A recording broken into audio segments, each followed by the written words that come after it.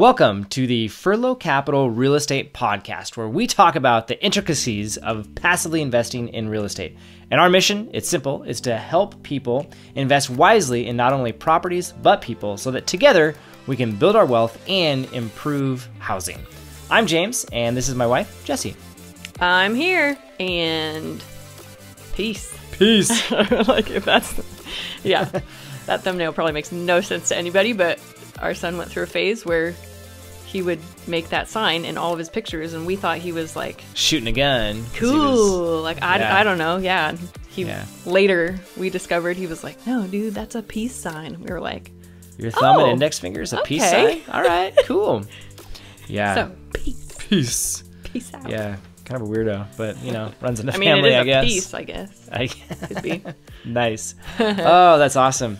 So what I want to talk about is something that we did before we had our kids. Yeah. Yeah. Aw, long time I ago. know. So we've already talked once about our very first purchase, Mm-hmm. our duplex. Yeah. Today, I'd like to talk about our second purchase, which was a duplex. duplex. Yeah. Do you remember why we decided to buy or what got us ready to buy that duplex? Um, not necessarily. Okay, let me give you a, a reminder. Wake up money. Oh yeah. Does that mean The- anything to you? yeah. Well, it was the classes that Lee did for a long time. Uh huh. Who's Lee? Lee is the agent who helped us buy our first place. Also a good friend. Yeah, yeah, Business partner at one point. yeah. And You worked with him. I worked with him. with Yep. him. Yeah. Yeah. Yeah. So he did these classes called Wake Up Money, Yeah. which um, I think it was like a one evening thing, Yeah. if I remember correctly. And it was like mostly a DVD series Mm-hmm. where we'd watch this guy and then he would kind of work you through it. And the the whole idea behind it was this concept of wake up money. I ultimately think of it as a little bit different than that, but the idea being if you invested passively, you would just get money when you woke Wake up. up. and he ran through a very simplistic example where he goes, "What if every few years, I can't remember the exact timeline. I feel it's like I think it was like every year or every other year. I think it was whatever, every other. You buy a house because Mm-hmm. you just you have a job, you save, you invested in the house, and then in 20 years was kind of his thing is like you'd have 10 houses, and then you take your five oldest or maybe your five lowest performing ones, however you want to think about it, Mm-hmm. sell those and use the proceeds from those sales to essentially pay down or refinance your the remaining portfolio and just skyrocket up your cash flow and now you have wake up money and you can retire. Mm-hmm. That's kind of his that was what he laid out. Lee was doing it to generate leads, um, mm-hmm. people who are interested in buying investments. And so he was going like very smart, right? Going down the education route. Let me mm-hmm. teach people about this idea so then they'll want to invest and then they'll come to me. Yeah. That was the whole thing. And I know for us, we were we took it because we were friends and we'd already bought a mm-hmm. place and he was like, Yeah, you guys should do it. And and it was through that one of the promptings was like, where do you potentially have funds that are just hidden, hiding mm-hmm. there? And for us, I had a Roth IRA that my parents had set up for me when I was younger, like 16. Mm-hmm. They started paying into it. And um, so I had a pretty good principal balance that was just sitting there. It was like, I think it was like $40,000 or something like that. I mean, it was significant. And, and that was enough. I, or at least that was a big chunk of it. Maybe we combine it with something else. I don't fully remember now. Um, but that was enough for us to do down payment on another property. And so we started looking. And um, do you remember that process at all? For I remember really distinctly for the first one. For the second one, I think we we we looped back through like the the same set of standards or something uh, that we had looked at before and it was like okay it's got to be you know make this much money it's got to be in this location you know we had different features or things we were kind of looking for Which, but by we the way, would what's look like what's your number everything oh it has to be cash flow positive day one? yeah, I Uh. we we went back and forth, and you were like, "But there's this thing called appreciation, and it's okay if it's losing money if you can re- if you can fix it up, and then you refinance it or you sell it or Raise rents. yeah, you raise the rents." And I was just like, "Uh, no. Why in the world would I buy anything that loses money? Oh, I That's not an investment." I love that. which I I now understand how you can take something that is potentially losing money and then flip it and turn it into something great. But I still don't like it, so we don't do it. That's fair. Uh, I mean, you know, kind of doing it right now, but well, true. yeah, For buy and holds, But- if we if you were gonna buy Yeah, and hold, That's fair. uh, I would I would struggle. Yeah, no, I, I totally agree. Um, yeah, so that's what we did. So at the time, since we were now friends with Lee, um, he, I was able to have him essentially download all active listings in the MLS for the surrounding area. And we were solely looking at multifamilies. We didn't care at all about single family homes. And mm-hmm. we were in like that, you know, two to four range. Yeah. And I had some general heuristics based on all the market research that I'd done on like mm-hmm. how much certain bedrooms would rent for.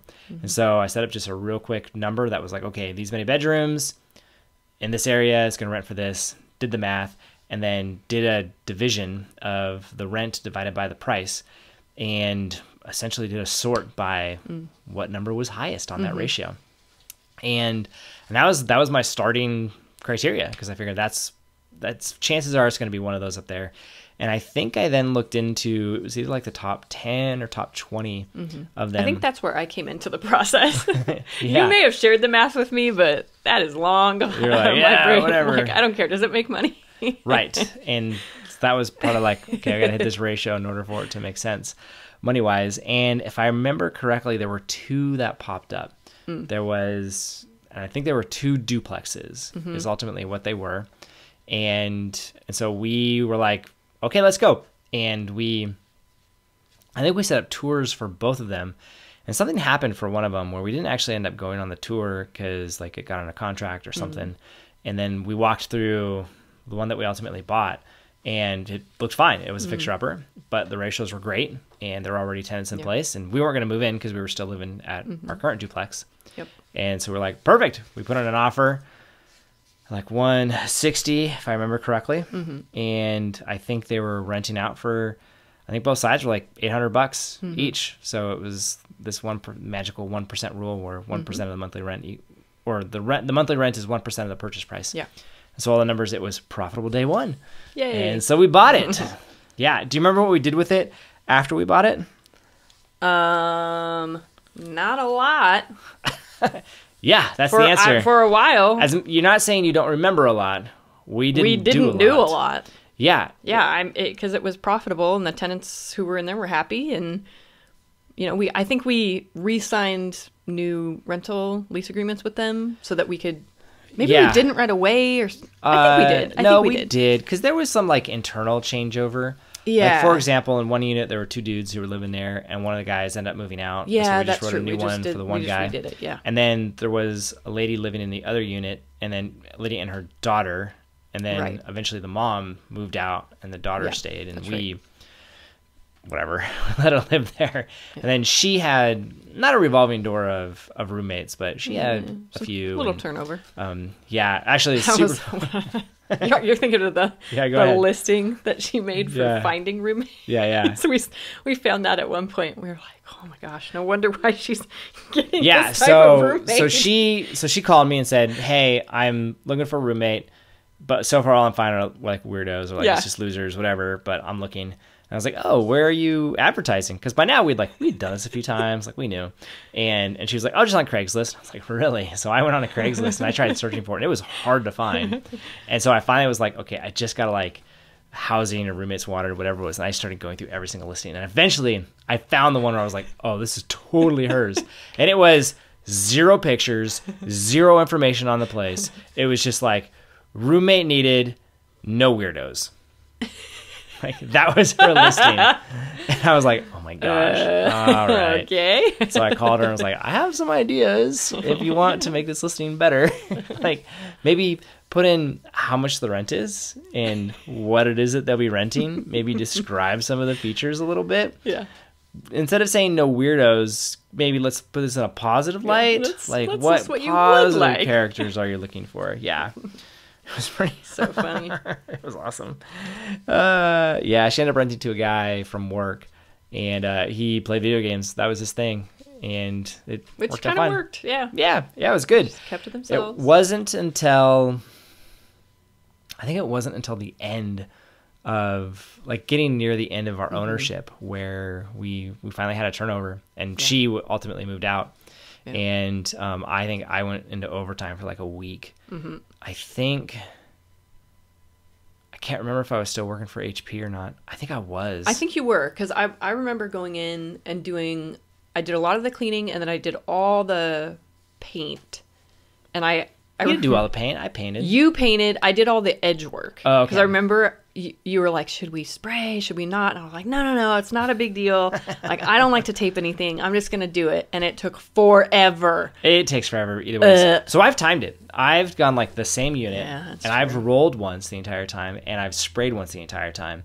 And it was like it was uncanny. It was almost the exact same amount of time to do both. Yeah. The difference with spraying is you're spending all your time, like you're spending 99% of your time putting up tape and prepping Yeah. and getting it all set. And then it's like one day, one hour, boom, spray, take everything off, you're done. Huh. Whereas with rolling, like it's very little prep time, but you are rolling the entire time. Yeah. And I think, I don't know, pluses and minuses to both Hmm. ultimately. Yeah. So I remember, yeah, we did that turnover and it was, I just remember working and I was You like, worked. You worked evenings and weekends. oh yeah, I would finish at HP mm-hmm. and then like get like a to go type of dinner, like peanut butter Yep. jelly sandwich type of like what's quick Yep. eat while driving over to the unit and i would work from like say like 5.30 maybe even 6 o'clock mm-hmm. until around like 1 a.m Yep. and then i would drive home hit the pillow by like 1.30 a.m and then and then i'd push the bounds like work started at 8 and so i was usually like i'd sleep until like 7 7.30 something like that so i was getting like it was good sleep but man it was and then i remember I had new tenants scheduled to move in, and it was like it had to finish that night because they were moving in that next day. Mm-hmm. And I remember I didn't finish until like two or three, three a.m. Yep.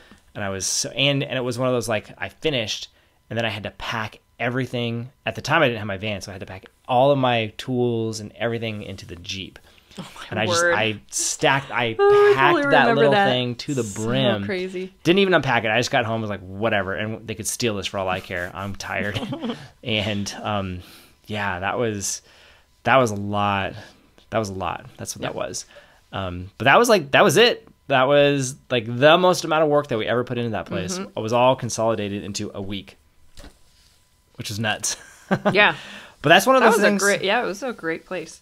and and it was really through that yeah i agree it was through that that i came up with it's not a concept it's uh i want to call it so you have wake up money and then you have passive passive income like I have these terms for Mm-hmm. me the one that resonated the most was what i started calling gyroscopic cash flow Mm-hmm. Was the idea so you know like you've seen those things where like the plates spin on a pole Yeah. and um, I got to do one at Disneyland, and they Yeah. had me participate. And it was super fun. and so the idea is it, it spins, and once you get enough angular momentum going, it kind of keeps spinning. Yeah. And then it might start to falter, and you gotta Yeah. Give it another twist. give it another twist. and so what I like to think about is like so there's a lot of initial effort, which is the finding the property, underwriting it, getting all the funding, doing all that stuff. And then for this one, it was just kind of like it just spun. And it happened to spin it was like once a month, right? I have to get the funds mm-hmm. or mow the lawn and it was just like a little this, A little spin. little little little something something. And then every once in a while like that one week thing it was like double handed full focused. Okay here we go. And really just like got it spinning fast again. And spinning in better than it was previously mm-hmm. because we were able to raise the rents on it which was great and um, and then yeah so that was like to me that epitomized the idea of gyroscopic cash flow and that's if you're actively investing in real estate that's really what it's like there's Right. probably a lot of work up front and then not a whole lot. Yeah. But it's not passive. You don't just get to walk Yeah, away and never do anything. there's You maintaining. gotta okay. Yeah. Let me let me do this. Now we do have passive investors now, Mm-hmm. and those are people who you know lend us, invest with us alongside to go do other stuff. And so there's a little bit of spinning at the very beginning where they got to look into the investment. They got to figure Mm-hmm. out if it makes sense. There's not a whole lot during the whole period outside of send emails, and that's just kind of that little little Mm. little something. And then at the end, there's stuff that has to happen, and there's a little bit more work too at tax time because it's a little bit more complicated than than Mm-hmm. Which that's all you doing the spinning. No, I'm saying like when I send them an email, they got to read it. Oh, that's a oh, little spin. I understand. When it comes to taxes, I will send them if they're equity holders a K one.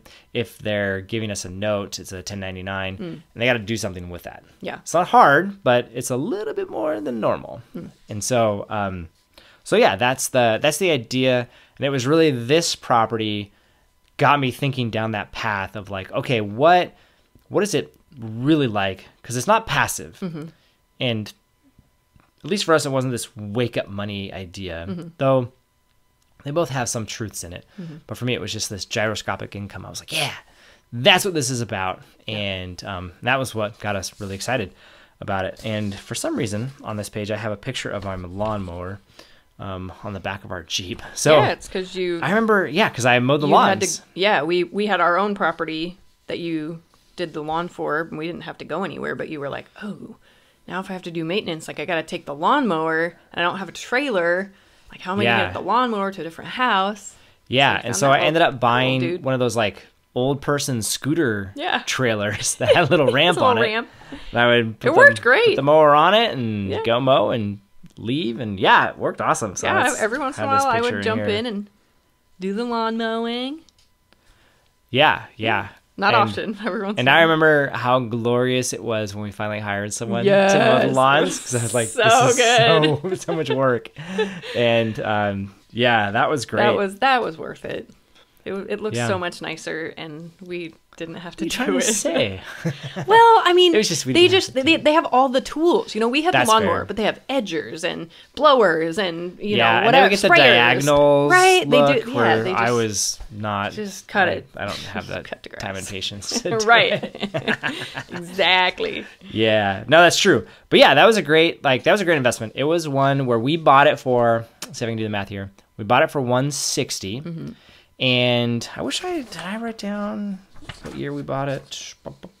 No, it was a couple Had to have years. been What's that? 2010? 2000? I was gonna say ten 11? or eleven because we bought our first place in 09, so I feel like it'd be eleven okay. was what it was. And like I said, we were positive cash flow Mm-hmm. day one on this place, and then Yeah, we increased rent. we ended up selling it 10 years later in Yeah. 2021 and we ended up selling it for 360 was what it was Yeah. that was a pretty decent return Yep.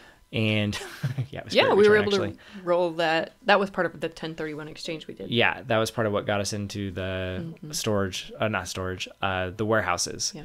yeah it was that one the other duplex and the single family home that Yeah. during this time that we were just talking about we were living there but yeah that's uh, that's what we did it was yeah that was a good investment that Mm-hmm. one worked out really well and that was like just grabbed a spreadsheet of everything available and did the math it's harder to find those kind of ratios Yeah. now uh, but at the time I, I remember at the time that was like Albany always had one, maybe two a month that kind of met that magic ratio that would make it profitable.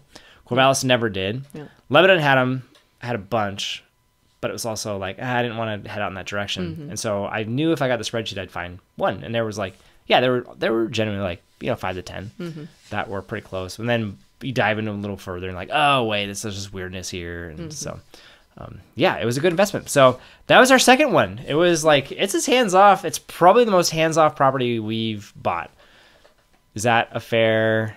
Me personally, I know a lot of them feel hands off to you. As opposed, the warehouses kind of fall in that camp. But Uh, okay, so does the 15 bedroom. I I guess. Yeah. I I guess I. it's so but I you kind have of. someone else managing it. I think about our investments in terms of phases. I have like Sure. I'm I'm very like Marvelesque, I guess. So phase one was the I had a job Yeah. phase, and that's the duplex, duplex, single family home, apartment, like Mm-hmm. all those.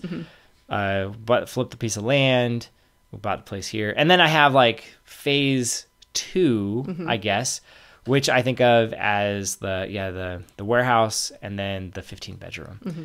and now. And I, I don't know if I'm stepping into a phase three yet with this flip. It's just because it's just so different. But, um, but that's kind of how I'm. And for the flip, I raise funds. So uh, that's Yeah, kind of like different. I'm like it, it just feels different. Mm-hmm. Maybe that's phase three. I don't know. Um, but yeah, this uh, yeah this was by far the the easiest, most Mm-hmm. hands off one I think we've ever done. It's yeah, even today I think so. But Mm-hmm. yeah, it's been good. So there you go. thanks for listening. Hopefully, you found that interesting and just a little bit more about how we think about it and how we got into it. And so, we would totally appreciate it if wherever it is that you listen to the podcast, you leave us a quick rating. That would be awesome. And we hope that you have a great day.